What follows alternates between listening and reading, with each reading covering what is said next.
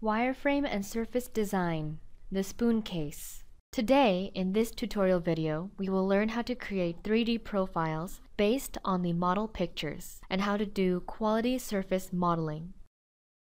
First, create a new file and name it Spoon. Insert a sketch. Set it on the XY datum. Click Image to insert the top view picture. Pick the origin as the first point. Set width to 300 millimeters. Click OK. Then, use the Line tool to create a center line.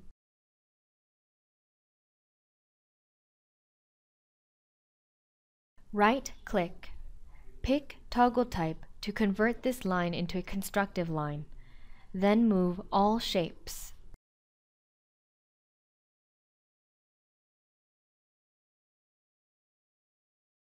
Thereafter, click the Point Curve feature.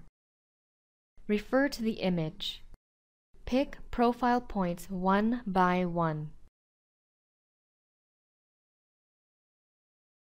Using the curve preview, select the suitable position.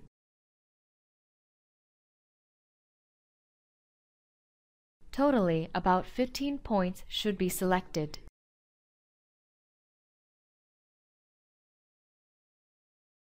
After that, select a start point from the list. Define the tangent direction. Pick an endpoint and define the tangent direction.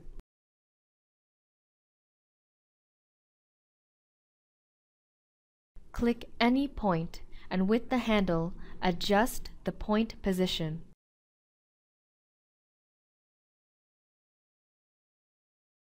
Now, let's check the profile sketch. Blank the image, then exit the sketch.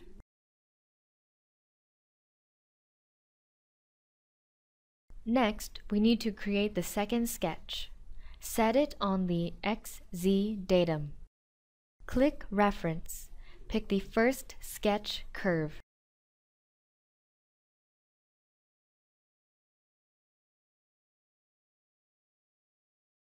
Click Image. Insert the front view image. Set first point to 0. Set width to 300 millimeters. Click OK. With the following, create some lines for relocating the image. Draw the vertical line like this. And draw this horizontal line. In the window, select all shapes and move them to the matched position.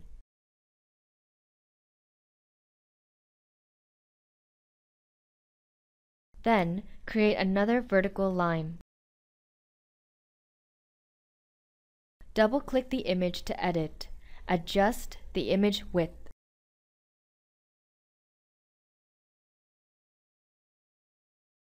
Convert these lines to constructive lines.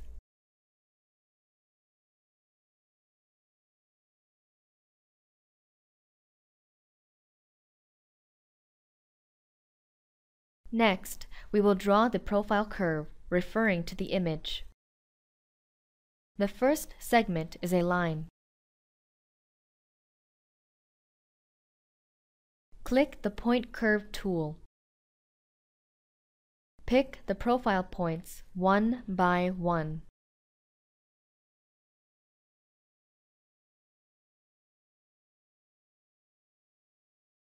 The last point should be located on the vertical constructive line.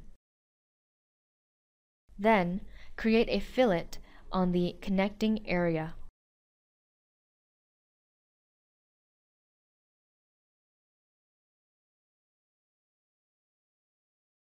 Connect them together.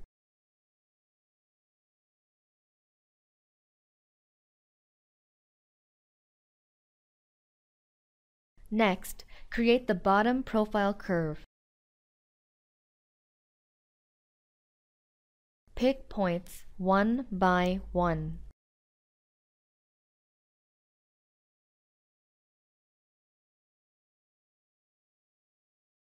Create the second segment.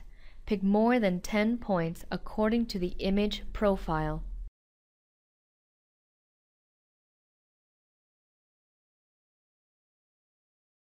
The last point should coincide with the end point of the top curve.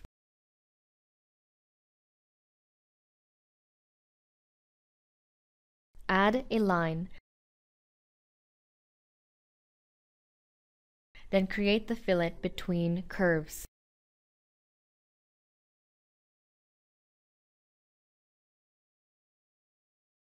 Now, blank the image and constructive lines.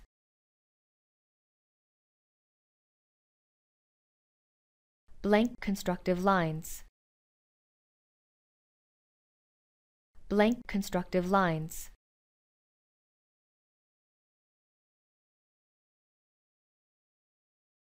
Click One Touch Trim. Pick the unneeded curve until there are no more. Finally, connect them together.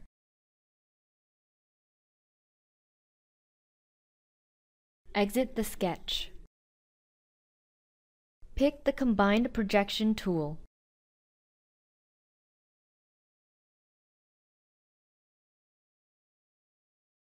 Select the top profile curve, direction, y-axis. Pick the first sketch curve, z-axis. Click OK to get the 3D profile.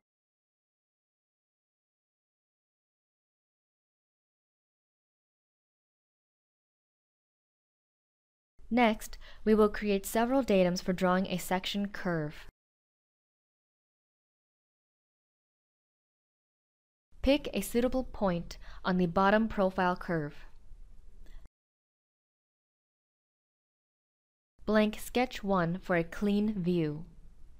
Then, adding datums, click Datum. Pick Point until done. Now, six datums have been created. In the following, draw the section profile in each plane. Click the reference command to define the reference point. Pick a curve to get the intersection point. Click Plane View and Show Target. Next, create a curve. Pick a reference point, a middle point, and another reference point. Show curvature. Add tangent direction for the first point. And adjust middle point position to get the more equal curvature.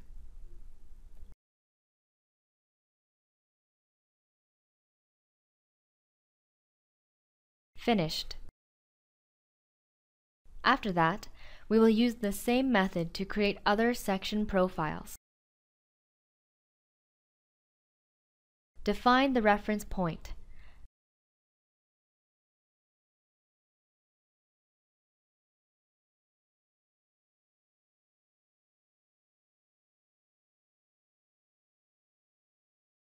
Then use the point curve command to draw the section profile.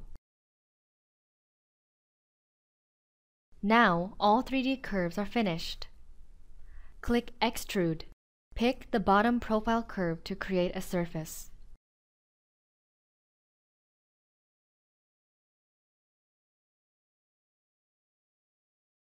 Click the Freeform Curve Mesh command. Pick one curve. Middle click to confirm. Two U curves. Select all section profiles as V curves. Pick one and middle click to confirm.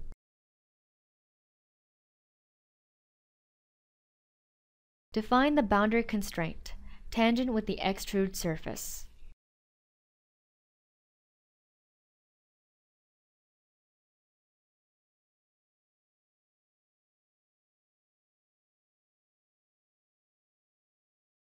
Blank the reference surface, then mirror the UV surface in the XZ plane.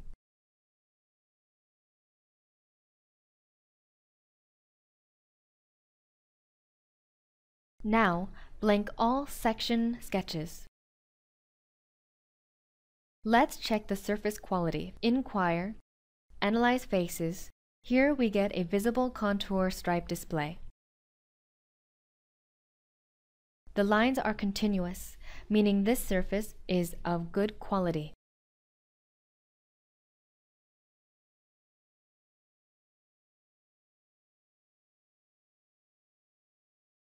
Blank all planes. Last operation, shell this surface to get the solid model. Set thickness to negative 1.5 millimeters.